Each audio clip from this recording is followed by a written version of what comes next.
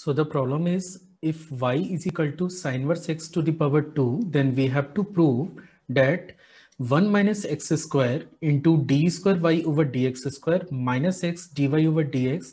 minus 2 and that is equal to 0.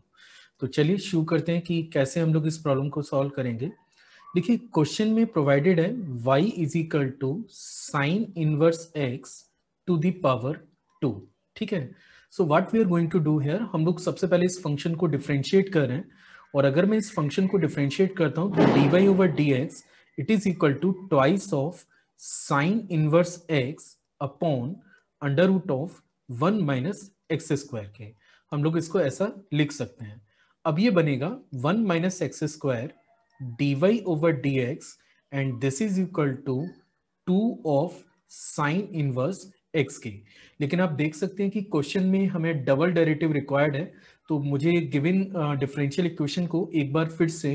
Differentiate करना होगा और अगर मैं फिर से डिफ्रेंशिएट करूँ तो यहाँ पे मुझे प्रोडक्ट रूल अप्लाई करना है। तो ये बनेगा under root of one minus X square this is D square Y over D X square plus D Y over D X D Y over D X and this is one by two under root one minus X square minus two X के। और right right side की अपन बात करें तो right right side में two और sine inverse x को अगर आप डिफ्रेंशिएट करते हैं तो that will become under root of one minus X square के। तो यहाँ पे आप देख सकते हैं कि ये टू से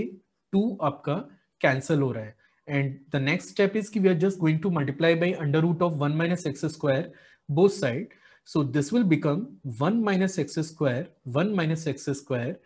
d square y over dx square minus minus x x dy over dx minus x dy over dx and this is equal to 2k. Or final statement we can write it 1 minus x square d square y over dx square minus x dy over dx minus 2 and that is equal to 0. तो finally this is the solution part for the given question I hope so कि आपको ये video पसंद आया होगा. Thanks for watching